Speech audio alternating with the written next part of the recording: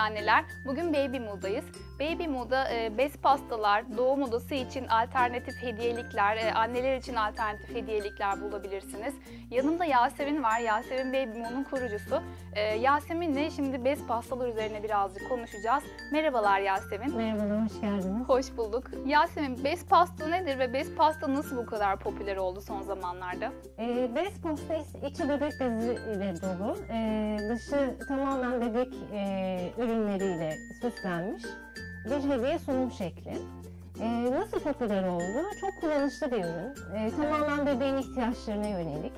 Ee, bebeğin ilk doğduğunda en çok ihtiyacı olan şeyin bebek bezi olduğu düşünülürse, e, içi tamamen bebek beziyle dolu olduğu için anneye ve babaya e, kullanışlı bir hediye e, sunum şekli. Çiçek gibi e, hastane odasına e, alınmıyor e, biliyorsunuz çiçekler. Evet. Bebek bezi hastane odasına girebiliyor. Evet. E, ayrıca e, her şeyiyle bebeğin kullanabileceği ürünlerle tasarlıyoruz. E, mesela şu postada gördüğünüz en alttaki bebek battaniyesi şuradaki. Aa, bu battaniye mi? Bu Ne battaniye, kadar güzel. bu e, bebek kullama örtüsü. Evet. Bunlar bebek mendili. Ay harika. E, onun dışında biz Ve e, bezler e, bunun içine içine tamamen bebek bezi bez dolu.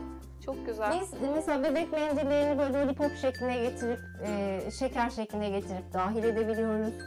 Ya da şu şekilde çiçek gibi katlayıp dahil edebiliyoruz. Bu nedir peki? Bu bir önlük şu şekilde Bebek önlüğü mü? Bebek Ah önlüğü. harika, çok güzel görünüyor. E, yani bu önlüğü biz katlayıp şöyle gül şekline getiriyoruz ve pastaya dahil ediyoruz. Çok güzel. E, onun dışında e, Şu peki, şu lollipop olan nedir? Evet mesela bodyleri, önlükleri ya da e, kullandığımız diğer bebek tekstillerini bu, bu şekilde lollipop, işte çiçek e, gibi e, dekoratif bir şekle dönüştürüp pastaya dahil ediyoruz. Peki şurada böyle çatal, bıçak, kaşık falan gördüm. Bu pastanın içinde neler var?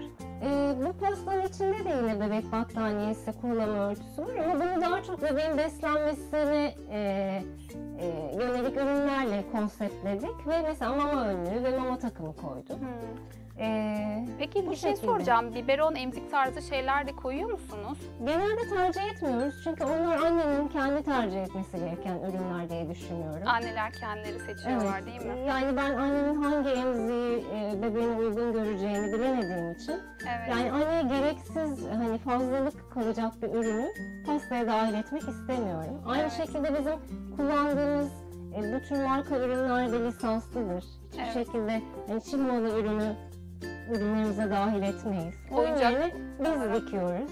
Kendiniz mi dikiyorsunuz Kendimiz dikiyoruz, kendimiz güzel. tasarlıyoruz ya da dediğim gibi eğer kullanacaksak lisanslı olmasını tercih ediyoruz. Evet çok güzelmiş.